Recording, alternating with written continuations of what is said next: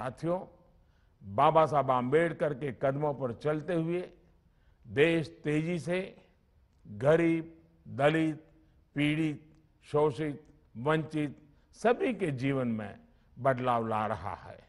बाबा साहब ने समान अवसरों की बात की थी, समान अधिकारों की बात की थी। आज देश जनधन खातों के ज़रिए हर व्यक्ति का आर्थिक समावेश कर रहा है। डीबीटी के ज़रिए गरीब का पैसा सीधा उसके खाते में पहुँच रहा है। डिजिटल इकोनॉमी के लिए जिस भीम यूपीआई को शुरू किया गया था, आज वो गरीब की बहुत बड़ी ताकत बना है। डीबीटी के ज़रिए गरीब का पैसा सीधा उसके खाते में पहुँच रहा है। आज हर गरीब को, हर गरीब को घर मिल रहा है, मुफ़्त बिजली कनेक्शन मिल रहा है। जब उसी प्रकार से जल जीवन मिशन के तहत गाँव में भी साफ़ पानी पहुँचाने का एक भरपूर मिशन मोड में काम हो रहा है। कोरोना का संकट आया तो भी देश गरीब मजदूर के लिए सबसे पहले खड़ा हुआ। दुनिया के सबसे बड़े वैक्सीनेशन प्रोग्राम में भी गरीब अमीर के आधार पर कोई भेदभाव नहीं है, कोई अंतर नहीं है।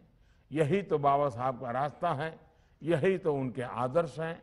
साथियों, बाबा साहब हमेशा महिला सशक्तिकरण पर बल देते थे और इस दिशा में उन्होंने अनेक प्रयास किए। उनके इसी विजन पर चलते हुए देश आज अपनी बेटियों को नए नए अवसर दे रहा है। घर और स्कूल में शौचालय से लेकर सेना में युद्ध विमान, युद्ध की भूमिकाओं तक देश की हर पॉलिसी के केंद्र में आज महिलाएँ हैं। इसी तरह बाबा साहब के जीवन संदेश को जन जन तक पहुँचाने के लिए ही आज देश काम कर रहा है। बाबा साहब से जुड़े स्थानों को पंच तीर्थ के रूप में विकसित किया जा रहा है। कुछ साल पहले मुझे डॉक्टर अंबेडकर इंटरनेशनल सेंटर के लोकार्पण का अवसर मिला था।